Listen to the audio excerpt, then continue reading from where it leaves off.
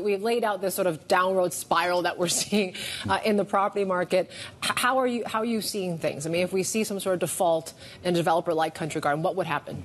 Okay, I think uh, one of the um, narratives that I picked up from you guys is a lot of things are priced in.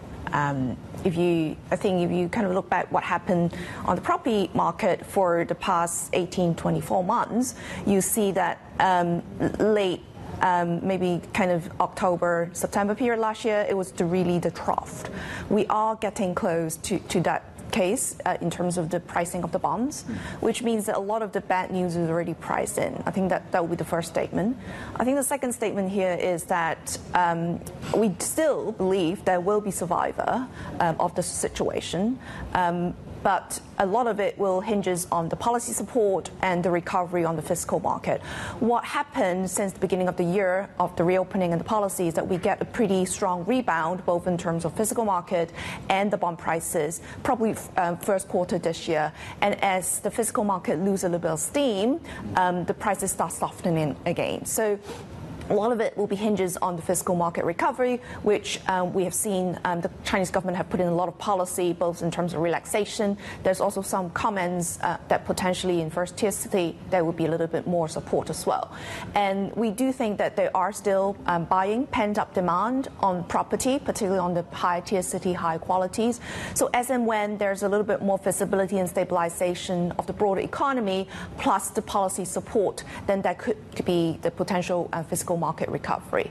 And I think in terms of pos- positioning and thinking about the sector, we think some of the larger um, state-owned enterprise operating in the property market with recurring income potentially will still be um, doing pretty kind of stable and relatively stronger compared to some of the um, uh, POE, which is the privately owned enterprise on the property side. You, you, mentioned we're, we're back to the levels almost of October of last year, right? On high yield bonds, I imagine is what yeah. you're, you're, you're, alluding to there. Yes. It's a different world though now, right? It was COVID zero. There was no policy support.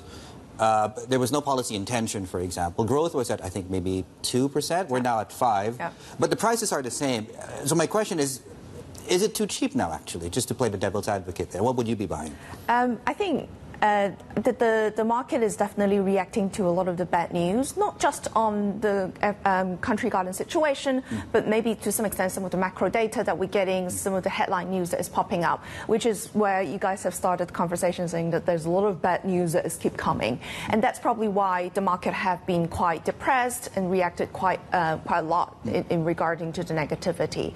Um, overall, I think as a longer term investors, um, there are opportunities still within I would say the broader Asian high yield market or even the broader Asian fixed income market. Okay. Um, property, you will need to be relatively careful. You need to have a slightly really longer horizon to wait for, or wait to, for, to see the kind of fiscal market recovery to reflect it into the bond prices. But out of it, I think there are still a lot of opportunities within the Asian high yield space, be it Macau gaming, some of the high quality banking papers, um, and, and even looking at the Indo-Indonesian markets as well.